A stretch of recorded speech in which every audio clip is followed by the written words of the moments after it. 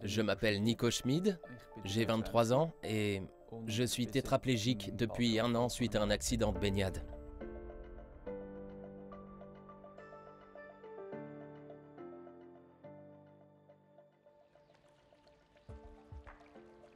Donc je suis un mec sociable et c'est sûrement ce que mes amis diraient aussi, car j'aime passer du temps avec eux et vivre des trucs sympas sans trop réfléchir à l'avance, juste pour voir.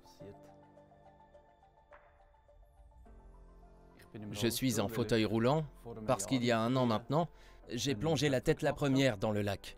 Et malheureusement, l'eau n'était pas assez profonde.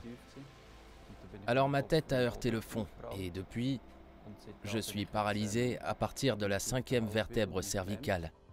Et c'est pourquoi je suis maintenant en fauteuil roulant. Ensuite, j'ai eu la chance de recevoir un grand soutien de la part de ma famille et de mes amis pendant cette période. Beaucoup de monde est venu me rendre visite, tant que cela était possible. Et j'ai aussi ressenti une très forte cohésion entre la famille et les amis. Et j'ai pu en retirer, oui, un grand bénéfice, car je savais qu'à la maison et aussi à l'extérieur, tout marchait comme il fallait. Et j'ai donc pu me concentrer pleinement sur moi-même durant cette période, ce qui est très important pour moi, pour que je puisse profiter au mieux du temps passé en rééducation.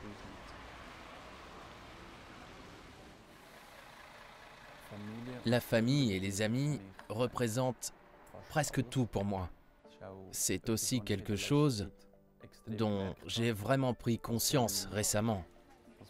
L'importance que les relations et l'entourage ont pour moi dans ma situation. Le soutien que j'ai reçu était incroyable, énorme, et ça m'a beaucoup beaucoup aidé. Et oui, je pense que sans mon entourage social, j'aurais eu beaucoup de peine à surmonter tout cela. Je pense.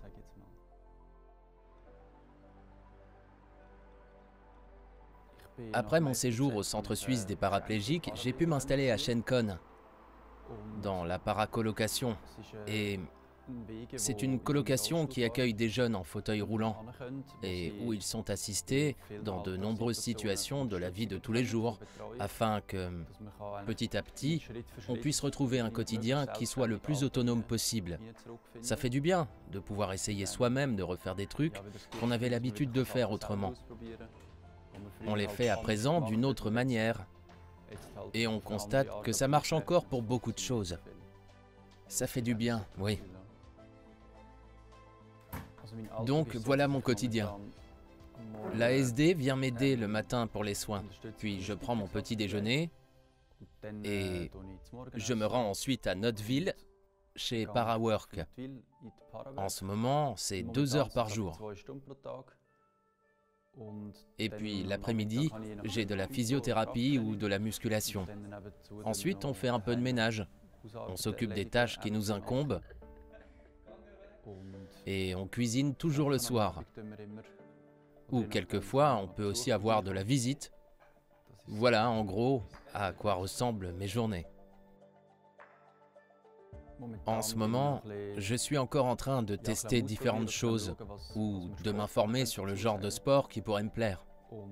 Et pour l'instant, mes loisirs tournent essentiellement autour des personnes qui viennent me rendre visite, de ce que je peux faire avec elles, comme aller au lac ou sortir un peu. C'est en fait mon passe-temps principal en ce moment, je dirais. Je resterai à la colocation au moins jusqu'en août-septembre et éventuellement un peu plus longtemps. Après mon séjour à la coloc, je retournerai habiter dans la maison de mes parents qui est actuellement en travaux.